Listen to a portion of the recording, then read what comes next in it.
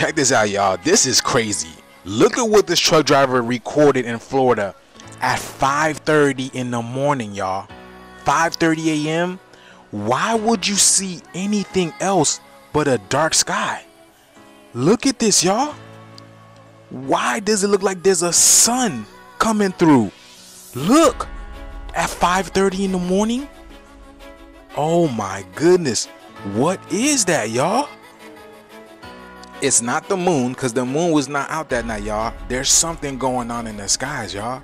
There is literally something going on in the skies because why would you see anything but dark skies at night, especially at 5:30 in the morning? It's not the sun because wouldn't the sun have to rise up? What the heck? And have you noticed lately the sky has not been dark? Have y'all noticed that? The sky is not dark at night anymore. It's like a it's like a white color. It's a it's a light color, a light white color, y'all. Have y'all noticed that? It's been so bright at night.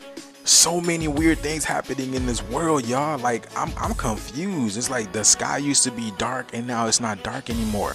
It's like a light like it's there's there's light outside at nighttime, y'all. There's light outside at nighttime and it's affecting people's sleeping schedules and all that. People say they're not sleeping and all that type of stuff. But let us know if you have any idea what that is, y'all. This was at Florida again at 5:30 a.m. That's crazy, man.